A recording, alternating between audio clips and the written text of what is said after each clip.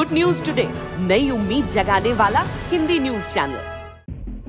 देश की राजधानी दिल्ली से निर्भया कांड की तरह बर्बरता का एक और मामला सामने आया है। ये मामला है 21 साल की एक बेटी साबिया का। आपको बता दें कि साबिया बदला हुआ नाम है। ये न सिर्फ़ हत्या है, बल्कि इंसानियत को शर्मसार कर देने वाली घटना भी है, जिसमें एक लड़की पर दर्जनों बार चाकू से हमला किया जाता है। परिवार का ये भी दावा है कि लड़की के ब्रेस्ट को भी काट लिया गया। उसके प्राइवेट पार्ट पर भी गहरे चोट के निशान मिले। लड़की के परिवार का आरोप है कि जिस युवक ने हत्या की बात स्वीकार करते हुए पुलिस के सामने सरेंडर किया है, उसमें काफ़ी गड़बड़ी है, क्योंकि जिस तरह से लड़की लापता हुई, उसे कुछ लोग पूछताछ के लिए ले गए। तब वो इस शख्स के पास कैसे पहुँच गई?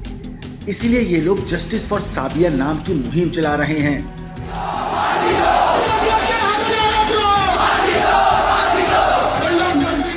धीरे धीरे देश भर में उसे इंसाफ दिलाने के लिए लोग आगे आ रहे हैं। मृत लड़की 21 साल की साबिया है, जो दिल्ली सिविल डिफेंस में काम करती थी। 27 अगस्त को दिल्ली पुलिस की सूचना पर फरीदाबाद के सूरतकुंड पाली रोड के पास से लड़की का शव बरामद हुआ था। ये शव रोड के अंदर करीब 10 से 15 फीट दूरी पर झाड़ियों में पड़ा हुआ मिला।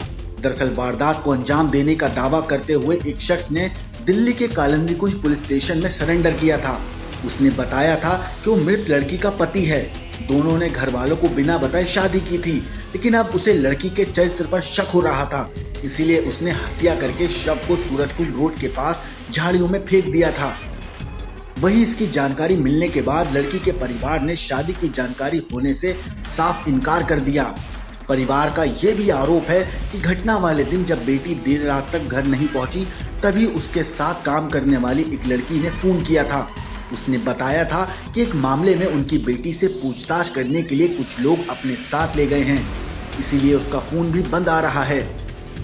ऐसे में सवाल अब ये उठता है कि अगर कुछ लोग लड़की को पूछताछ करने के लिए अपने साथ ले गए थे तो फिर अचानक पति होने का दावा करने वाला शख्स उसके पास कैसे पहुँच गया? और फिर हत्या करने के बाद अचानक सरेंडर क्यों कर दिया? ब्यूरो रिपोर्ट, क्राइम तक